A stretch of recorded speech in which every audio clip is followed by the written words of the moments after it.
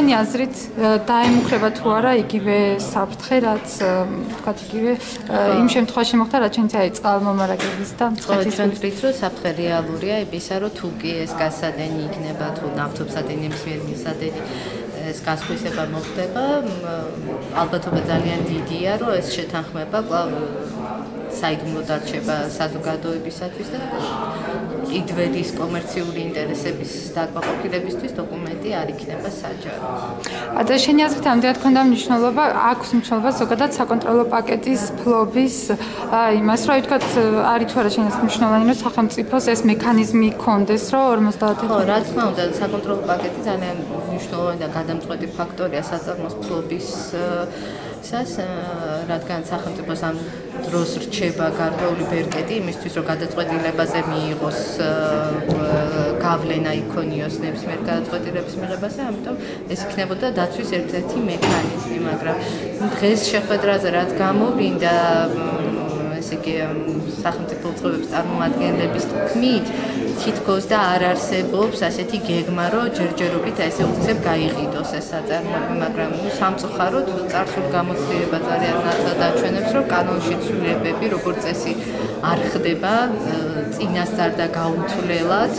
და რაიმე მომავალში რაიმე გეგმებთან დაკავშირებით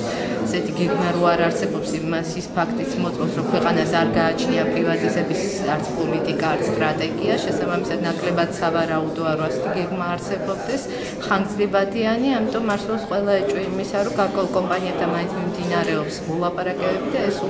ეს ინიციატივა უბრალოდ მორგებულია რომელიღაც კონკრეტული კომპანიის ინტერესზე შეისყიდოს ესა თუ ის მისადე და რომელ კომპანიაზე საუბრობ კონკრეტულად შეიძლება დაკონკრეტულად ხო ნუ ამ შემთხვევაში რა ეს ლოგიკური იქნებოდა რომ ვიფიქროთ, იმიტომ რომ როდესაც ნავთობს როდესაც მილსადენის უმეტესი ნაწილი და ამ დროს მნიშვნელოვანი უმეტესი ნაწილი არის ერთი კომპანიის ფლობაში, მის ინტერესში შედის, რომ იმ გარკვეულ მონაკვეთსაც ფლობდეს, რომელიც მის საკუთრებაში არ არის. ხო, ამ შემთხვევაში არ შეიძლება ვისაუბროთ ვიღაც სხვა კომპანიებზე, თუმცა შეიძლება რომელიმე სხვა კომპანიებიც იყვნენ დაინტერესებული, მაგრამ პირატესი მდგომარეობა, რა თქმა უნდა, რაო ეს უჭირავს ესე რომ იქნება ეს პირდაპირ რაო ესი თუ სხვა კომპანია იქნება რაო ესი ნებისმიერ შემთხვევაში შეეცდება რომ შემდგომი სხვა კერძო კომპანიისაგან მაინც შეიძინოს ეს პაკეტი და შენი აზრით სახელმწიფო რატო აყენებს რისკის ქვეშ? ასეთი სტრატეგიული ანუ შენი აზრით არის თუ არა სტრატეგიული ობიექტი რატო აყენებს ან რატო ყიდის ასე ვთქვათ? რატო ამოიღო არასაპრივატიზაციო